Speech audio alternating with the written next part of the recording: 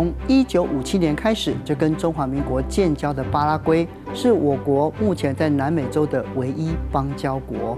而二零二三年四月，他们在总统大选期间，民调暂时领先的在野党候选人喊出了，从双双边的关系中得不到足够的经济利益，如果未来呢选上了总统，将会倾向跟中国来建交。而另一方面呢，中美洲的友邦国家瓜地马拉也将在近期内来进行总统选举。那我们的邦交国数目会不会发生变化呢？引起了全球的关注。而一直以来，拉丁美洲被视为是美国的后院，但中国在此地的经济影响力却逐年的提升。虽然美国还是拉丁美洲最大的贸易伙伴，但是在过去的二十年来，中国已经在八个南美洲国家取代了美国的贸易地位，而在美中对抗的局势之下，拉丁美洲俨然已经成为了新冷战的前线。美国未来所采取的行动，将牵动了台湾往后的外交关系。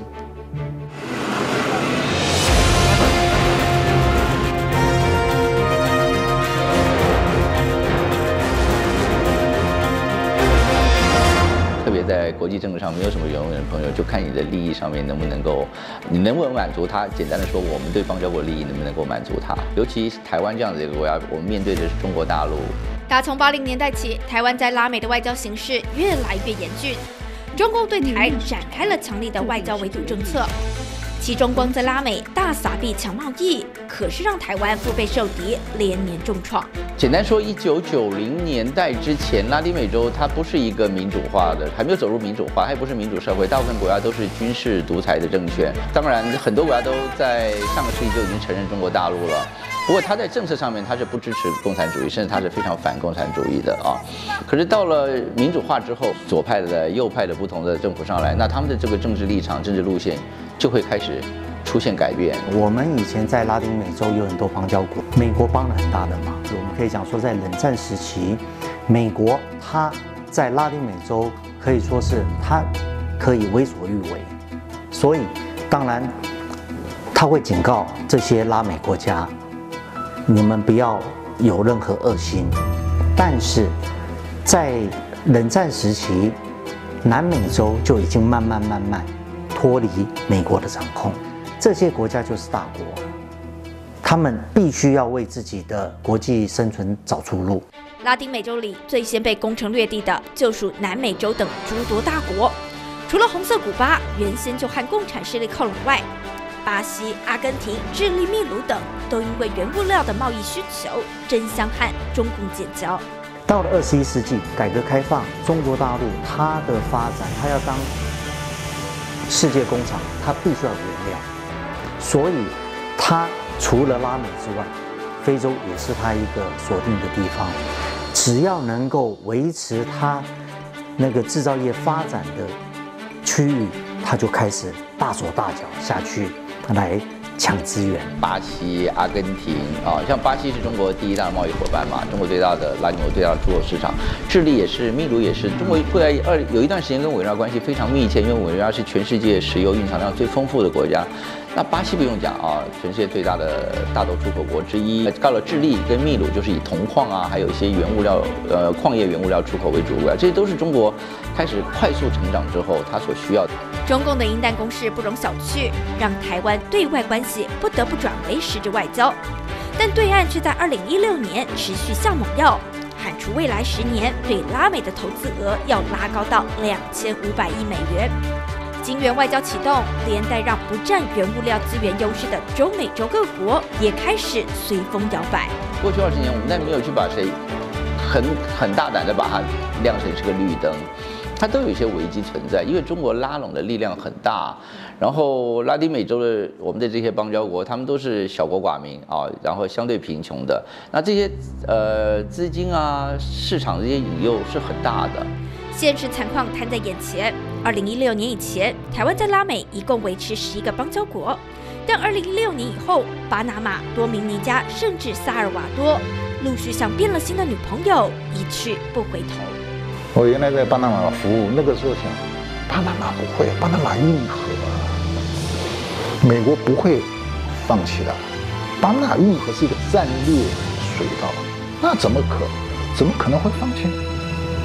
美国没有吭声，就断了。所以一个一个断。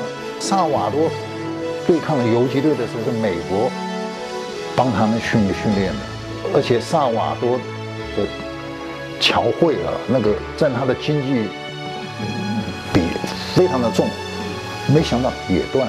他不像以前一样啊，以前就是美国讲讲句话。就就好，美国影响力下降，相对的就使得拉丁美洲国家，我们的邦交国，它的这个外交的这个空间开始变大了。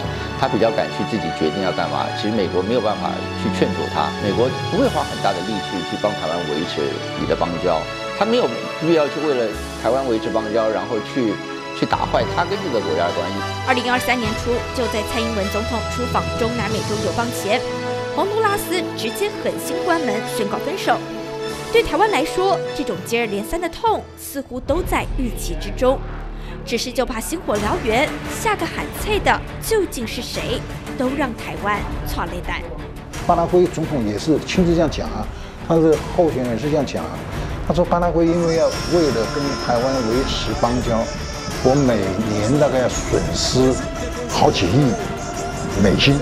美国就先讲，哎，就是我们蔡总统访问。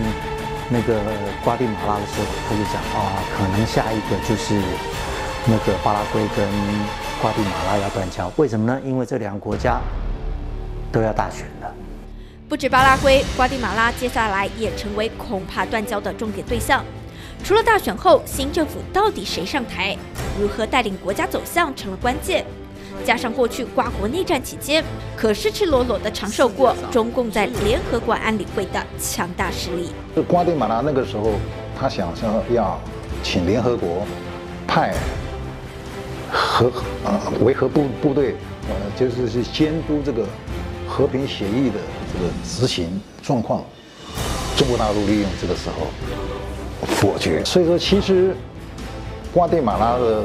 从那时候的关系啊，就也不是说非常的稳啊，所以瓜地马拉那时候在联合国就不太愿意帮我们讲话啊。二零二二年，中国跟瓜地马拉他们的交易四十九点四亿，那我们台湾呢是四点一亿，那相对来讲就没办法比。每年在联合国九月联合国大会的时候，大陆方面。跟瓜地马拉他们的外交者或多或少都会有所接触。